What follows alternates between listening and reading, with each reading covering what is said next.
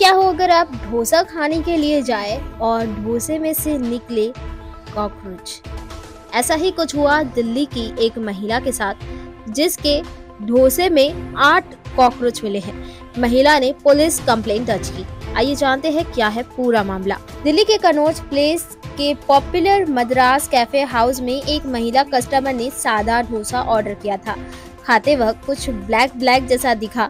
गौर करने पर पता चला कि ये तो कॉकरोच है, जिसकी शिकायत कॉफे हाउस वाले से की गई। महिला ने सोशल मीडिया पर कॉकरोच वाला सादे डोसे का वीडियो पोस्ट करते हुए इस बात की जानकारी दी है।